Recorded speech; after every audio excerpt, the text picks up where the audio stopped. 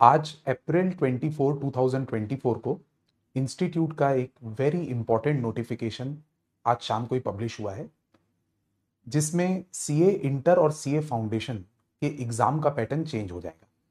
अब ये एग्ज़ाम साल में दो बार नहीं होकर, साल में तीन बार होंगे और मई, सितंबर और जनवरी में होंगे एग्ज़ाम्स तीन बार। आइए नोटिफिकेशन को साथ में पढ़ते हैं। The institute has decided that from May onwards the intermediate and foundation course examination will be held thrice in a year in the month of May, June and September and January यहाँ पे मई जून का मतलब है या तो मई में होंगे या तो जून में होंगे या ओवरलैप भी हो सकता है।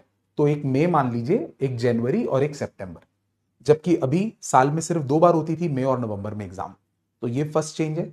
दूसरे पैराग्राफ में ये समझाया गया है दोस्तों कि जो बच्चे फाउंडेशन का एग्ज़ाम अपियर करना चाहते हैं तो जिस मंथ में एग्ज़ाम है, उसके फोर मंथ्स पहले उनका रजिस्ट्रेशन हो जाना चाहिए।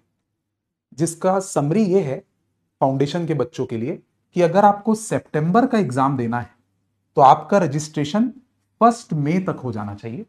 और अगर आपको सिमिलरली जनवरी का एग्ज़ाम देना है तो आपका रजिस्ट्रेशन एक सितंबर तक हो जाना चाहिए। ये फाउंडेशन के स्टूडेंट्स के लिए।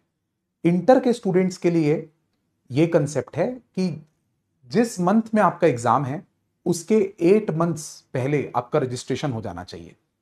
तो इसका प्रैक्टिकल इंप्लीकेशन ये है कि अगर आपको सितंबर में इंटर का एग्ज़ाम देना है तो आपका रजिस्ट्रेशन एक जनवरी को हो चुका होना चाहिए। और अगर आपको जनवरी के मंथ में सीए इंटर का एग्ज़ाम देना है तो आपका रजिस्ट्रेशन फ़र्स्ट मे को हो जाना चाहिए। ये बात आपको नोटिस करनी है। फोर मंथ्स सीए फाउंडेशन के लिए एट मंथ्स सीए इंटर के लिए। अब प्रैक्टिकल इंप्लीकेशन लेते हैं बेटा।